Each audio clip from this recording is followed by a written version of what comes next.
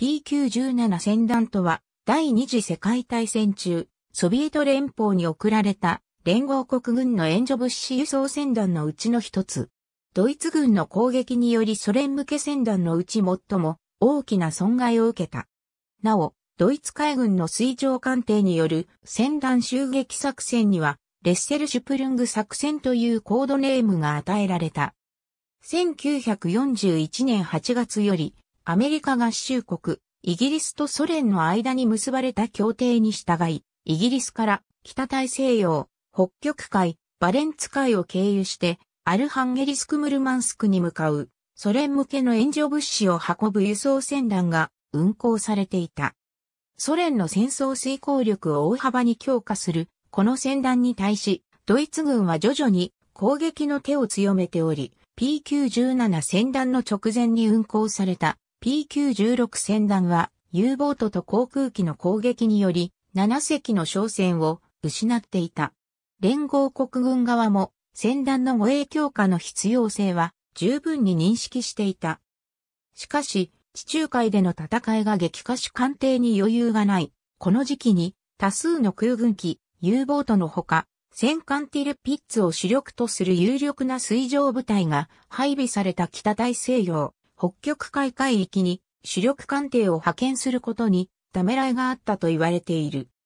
イギリス海軍は、連合国軍は襲撃を受けにくい夜の時間が長くなる秋以降に P9 戦団の運行を延期しようとしたが、ドイツ軍の攻勢にさらされていたソ連のスターリン首相の協定履行を求める強硬な声のもと、チャーチル首相は1942年6月 P917 戦団の運行実施を決定した。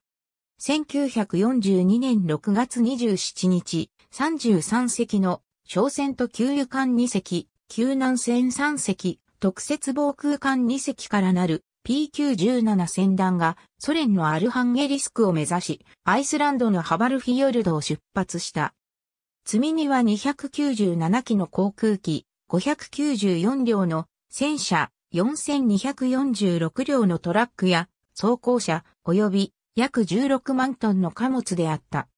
戦団は機関ケッペル以下5隻の駆逐艦、2隻の潜水艦、各4隻のコルベットと武装トロール船、3隻の総海艇からなる第1護衛隊に護衛されていた。駆逐艦及び一部の護衛艦艇は、脅威が増大する30日に戦団に合同した。また、戦団からやや離れた位置に、巡洋艦4隻、駆逐艦3隻からなる第1巡洋艦船隊が間接護衛隊として布陣していた。さらにこれに加え、ティルピッツを含むドイツ水上部隊が出撃してきた場合に備え、戦艦2隻、航空母艦1隻、従巡洋艦1隻、軽巡洋艦2隻、駆逐艦14隻からなるイギリス本国艦隊の警戒部隊が戦団の後方にあった。出発直後1隻が機関のトラブルで、また6月30日には同じく1隻が流氷により選手に損傷を受けて、アイスランドに引き返したため、結局ソ連へ向かった商船は33隻となっていた。船団出港の情報を得ていたドイツ軍も、船団が通常より北寄りの航路を取ったこと、悪天候が続いたことにより、この時点では接触には成功していない。船団が出発してから4日目の7月1日、アイスランド北東のヤンマイエン島付近でドイツ海軍の潜水艦 U456 が船団を発見。その数時間後には、ドイツ空軍の偵察飛行艇 BV138 が船団の上空に飛来し、直接を開始した。ドイツ軍による攻撃が始まったのは、翌日、2日の夕刻からで、少数の HE111 来撃機によるこの空襲では、ドイツ側が一機を失い、船団に被害はなかった。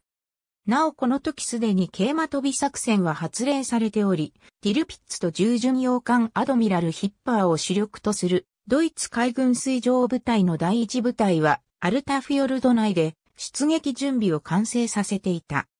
7月3日は戦団に被害がなかったが、ドイツ海軍は同日第一部隊に次いで従巡洋艦アドミラルシェア、リュッツ王を主力とする水上部隊第2部隊の出撃準備を完成させ、4日早朝からはドイツ軍の攻撃が激化し、この日1日で航空機と潜水艦により、商船3隻が撃沈され、1隻が大破した。イギリス海軍は、ドイツ海軍水上部隊が、アルタフィヨルド内で行動を活発化させつつあることを、航空偵察と通信情報によって察知していた。しかし、ティルピッツが以前の白地から移動していることは分かったものの、確実な所在がつかめなかったため、イギリス海軍本部は難しい決断を迫られることとなった。ティルピッツがすでに P917 戦弾攻撃のために出撃しているので、あれば攻撃を受ける輸送船を減らすため、一刻も早く戦弾に分散を命じなければならない。しかし逆に、ティルピッツが出撃していないのであれば、空襲と潜水艦の襲撃を防衛するために、戦弾を組み続ける必要がある。情勢判断について、海軍本部内は紛糾したが、ダドリーパウンド第一海軍卿はティルピッツは出港済みと断定。7月4日夜、海軍本部から戦団に次のように命令電が発せられた。午後9時11分、第一新、巡洋艦船隊は高速で西へ退避せよ。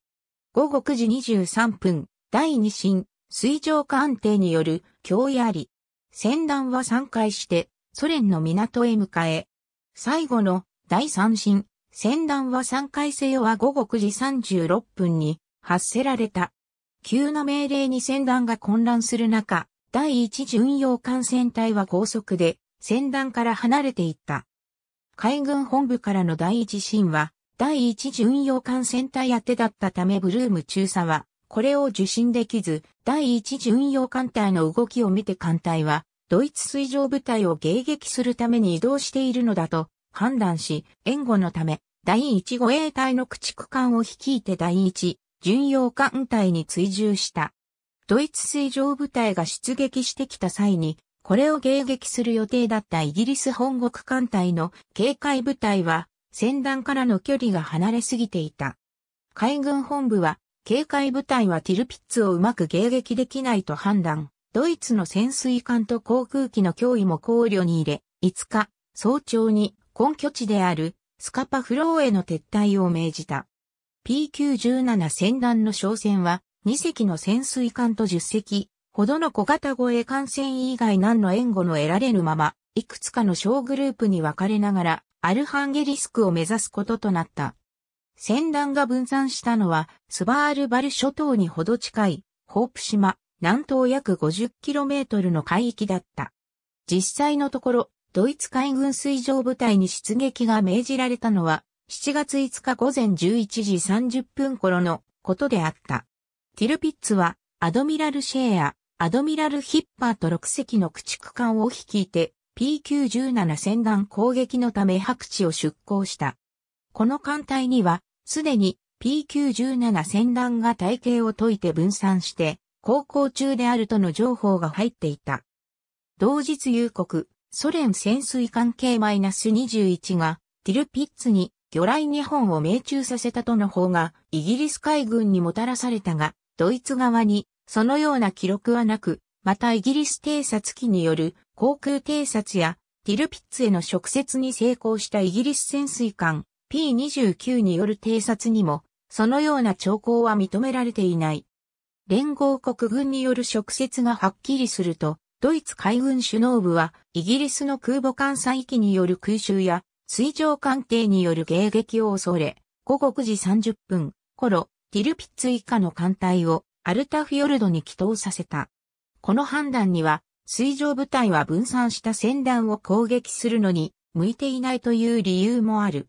船団の分散直後から各商船は、ドイツ軍の潜水艦と航空機による激しい攻撃を受けた。5日だけで12隻の商船が撃沈されるか、航行不能となり、これに加え給油艦一隻が航行不能に救難船一隻が撃沈された。航行不能になった艦船はすべて後にドイツ潜水艦に撃沈された。6日には2隻の商船が撃沈。翌7日にも2隻の商船が撃沈され、8日にさらに1隻、9日深夜から10日にかけて2隻の商船が撃沈された。ソ連の港に着いた商船は11隻に過ぎなかった。ブジアルハンゲリスクやムルマンスクにたどり着いた船は、積み荷から弾薬を転用したり、積み荷の戦車から機関銃を外して防空に当てたり、ドイツの軍の偵察の目を欺くために、船体の各所を白く塗って流氷に紛れ込むようにするなど対策を行った。最後の商船がアルハンゲリスクに到着したのは7月24日のことだった。PQ-17 船団は総計で22隻の商船と153名の船員を失い、積み荷では430両の戦車、210機の航空機、3350両の車両、そしておよそ10万トンの物資を失った。これに対しドイツの損害は航空機5機のみであった。援助物資輸送船団が大損害を受け、受け取れる物資が激減したことに対し、スターリンは米両国に強硬な抗議を行い引き続き船団を送るように求めた。しかし、連合国軍も PQ-17 戦団がこれだけの犠牲を出した後では、戦団護衛体制の立て直しを図らざるを得ず、次戦団 PQ-18 戦団の出発は9月2日までずれ込んだ。護衛空母アベンジャーを含む50隻を超える艦艇に護衛された PQ-18 戦団は40機以上のドイツ機を撃墜し3隻のドイツ潜水艦を撃沈したが、12隻の商船と一隻の給油艦を失う損害を受け、その次の輸送船団 JW51 の出発は12月下旬まで行われなかった。艦艇部隊戦艦2隻、空母1隻、重巡洋艦5、軽巡洋艦2、駆逐艦24、潜水艦13、護衛艦艇11航空部隊艦艇部隊戦艦1、重巡洋艦3、駆逐艦10、潜水艦9員は座礁により出撃不可能になったモノ航空部隊不可福田誠、松代森弘、ウォーヒストリーブックス第二次対戦作戦名辞典 WW2 オペレーションファイル1939から1945公営1999年 ISBN 4から87719615354から55ページありがとうございます。